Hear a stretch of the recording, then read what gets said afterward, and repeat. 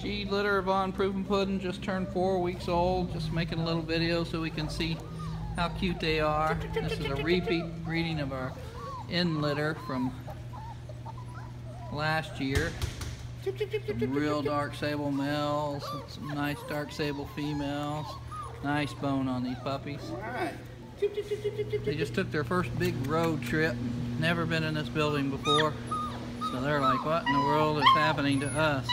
But just wanted to make a little video so you can see how they're growing, and how cute they are.